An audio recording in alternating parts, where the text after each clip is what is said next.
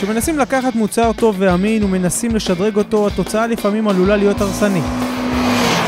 מהנדסי הונדה היו מוכנים לסכן את ה-VFR 800 הוותיק והטוב, כשיוציאו אל השוק את ה-VFR 800X, או בשמו החדש, VFR Cross Runner.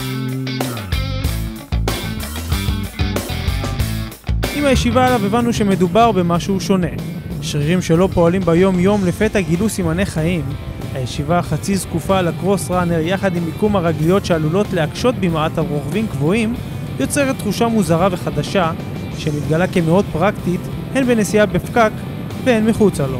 ישיבה זקופה זאת ישיבה שהיא מאפשרת אה, נוחות גבוהה ומאפשרת לך אה, להשאיר את המבט שלך צופה רחוק קדימה, שזה כמובן אה, הגורם הכי חשוב ברכיבה על אופנוע, המבט. חוויית הרכיבה מאוד ידידותית ומאוד ליניארית. זאת הודות לתוספת של 10% למשקל גלגל התנופה, שדואג לשמור על האנרציה של האופנוע ולגרום לו לשייט גם כשמרפים מהגז, אבל זה לא הכל.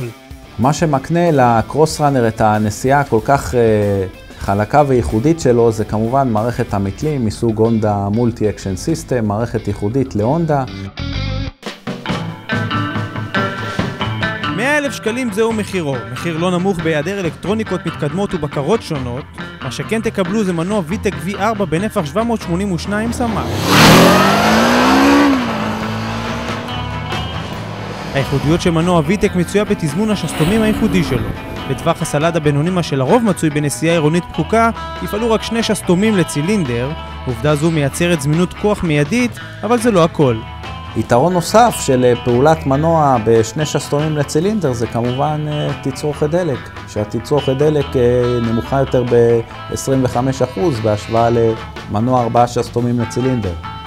וזה היום במיוחד עם מחירי הדלק זה איזשהו בנפיט מאוד משמעותי.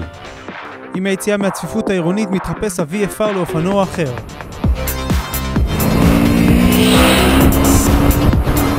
מיגון הרוח המינימלי שלו עושה את העבודה גם במהירויות שיוט מכובדות, כך גם מערכת הבלמים המחודשת, שמייצרת בלימה רכה ושקטה.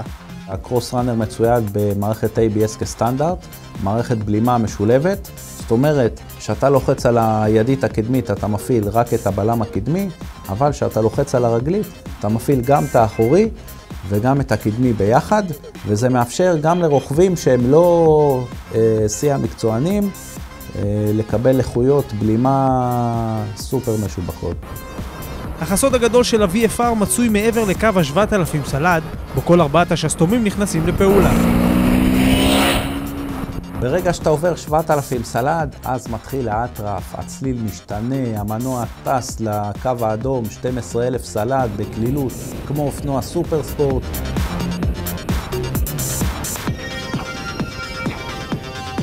ההצלחה הגדולה של הונדה עם הקרוס ראנר היא היכולת לפנות למגוון רחב מאוד של אנשים על ידי קשת מאוד מאוד רחבה של צרכים שהאופנוע הזה יודע לספק.